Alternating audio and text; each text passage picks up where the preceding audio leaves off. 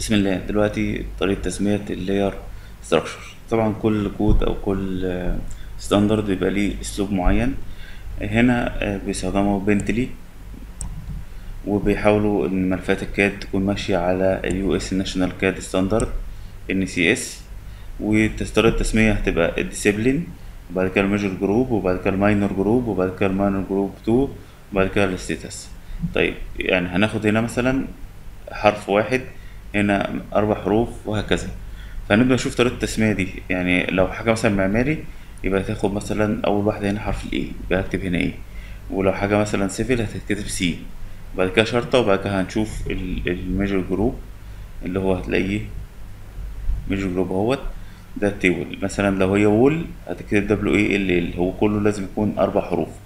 فال ceiling هتكتب C L N G تشيل الحروف المتحركة. ال floor F L O O R بدل ما هما ال O متكررة هنشيلها.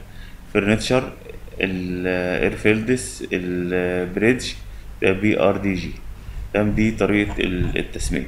لو هي مثلا حاجة structure تاخد حرف ال S وبعد كده نشوف التكملة بتاعتها.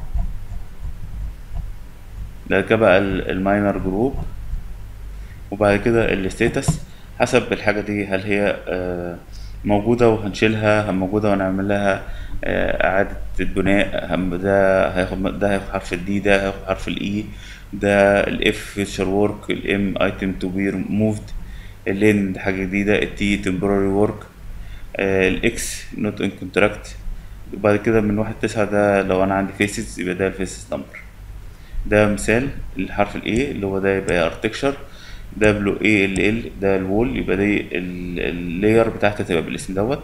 ال full ده ده option ممكن تكتبه ما تكتبوش.